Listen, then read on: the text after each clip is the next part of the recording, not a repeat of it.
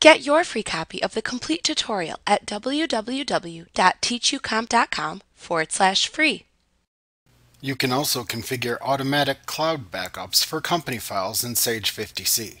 Doing this creates regularly scheduled cloud backups of a company file to your linked Office 365 cloud service.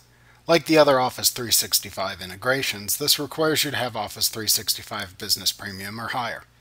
To create an automatic cloud backup schedule, select File, Cloud Backup, Cloud Backup Settings from the menu bar. You may then need to click the Yes button in the User Account Control window to allow automatic cloud backups to be configured. The automatic cloud backup window that then opens lets you create the cloud backup schedule. In the Office 365 Account Info section, you will see the Office 365 account with which you are currently signed in. If not signed in, click the link here to sign into your Office 365 account. In the File Location section, the current company file's folder location appears in the Company Directory field. The location to which the backup is saved appears in the Save Backup To field. In the Cloud Backup Settings section, ensure the Create a Cloud Backup checkbox is checked, and then set the time for the cloud backup in the adjacent Time field. Then check the days of the week on which to run the backup by checking the checkboxes below that.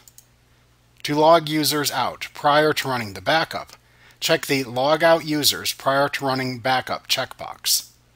To notify people by email for successful or failed backups, Type the email address into the upper field within the email notifications section, and then click the adjacent Add Email button to the right to add it to the larger list below. Repeat this step to add all the emails you require. To remove an email from the larger list field, click an email address to select it within this list, and then click the adjacent Remove Email button.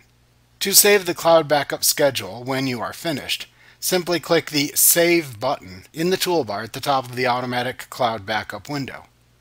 To immediately run the cloud backup, click the Run Backup button.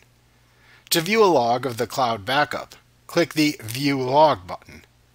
To close the Automatic Cloud Backup window when finished, click the Close button in the toolbar, or click the X in the upper right corner of the window.